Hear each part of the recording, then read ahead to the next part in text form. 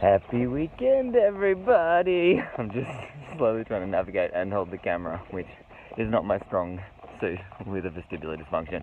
Anywho, um, what's everyone up to this weekend? Me, personally, I'm on my way to getting some hors d'oeuvres for um, some friends that my housemate and I are having over, and we're going to play a game of Jim and Jenga, where we all try and build the Jenga tower together, whilst uh, casually slip, sipping on uh, Jim Beam in, um, you know, in in moderation, of course.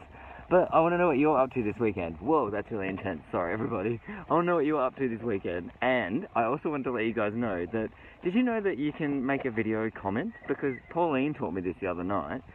So Pauline was um, having a really good chat with Camille on after Camille had recently made a post, and then made a video comment back to her which absolutely blew my mind. And so what I want us to do is as soon as you see this video, rather than giving us the typical Facebook thumbs up, which is really cool and very needed because it helps us grow, but what do we need to do in addition to giving us a thumbs up and a bit of love is in the comments section, what do we need to do is press comment, press the camera icon that comes up, and that will activate your camera. And then for two seconds, I want to see your face and your thumb giving us the real thumbs up. Because that's the real deal.